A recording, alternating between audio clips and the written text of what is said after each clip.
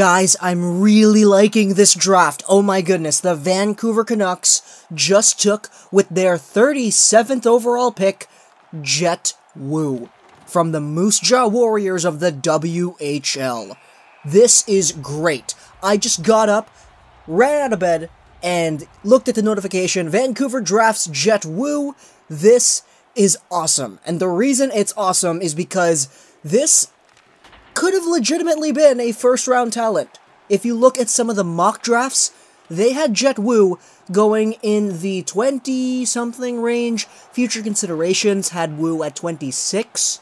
And DraftSite.com had Jett Woo going 22nd overall to the Ottawa Senators. So Jett Woo is a player who could have been a first round talent. This is basically a why isn't anyone taking Kole Lind situation here, because Jett Woo is a legitimately good player. He's a guy who was playing for the Moose Jaw Warriors this past season, and with the Warriors, he was basically eclipsed by really good defender, number like 5 in PNHLE, LA Kings defenseman prospect Kale Clague and Josh Brook as well. Jett Woo is a guy who's physical. He is arguably the most physical player in the draft, and he's a defenseman, a right-handed defenseman as well.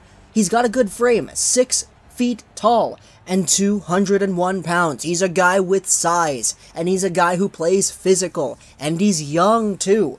His birthday's coming up later in July, he's still 17. This is legitimately a player that the Vancouver Canucks definitely benefit from taking. He's a right-handed defenseman who is great physically. Don't get me wrong, it's not just the physicality that is his strengths here. He got 25 points in 44 games with the Warriors. He's a player who, if you watch some of his highlights, he's actually got some pretty good offensive visioning, a good shot, and some nice hands. He's a guy who really does actually have skill when it comes to the offensive side of his game. And his skating is pretty good as well. I think the Vancouver Canucks have done a really good job thus far in this draft choosing guys who are good at skating. Obviously, Quinn Hughes the best skater in the draft. Jett Woo isn't necessarily a bad one. He's pretty good.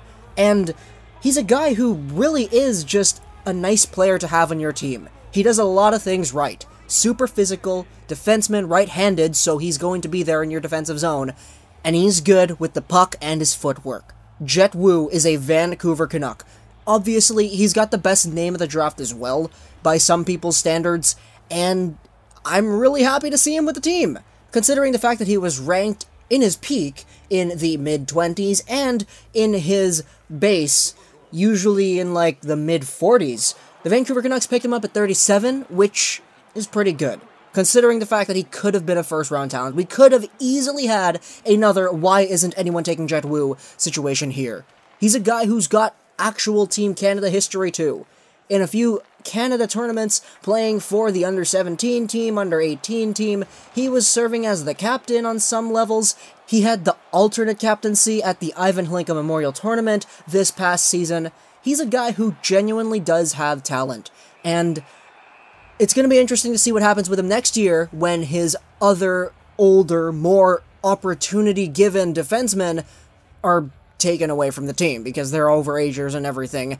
Jett Woo is still 17. So once he's been given an opportunity to actually step up and given more ice time, more minutes, more opportunities, things are going to be really great for Vancouver Canucks observers watching him play.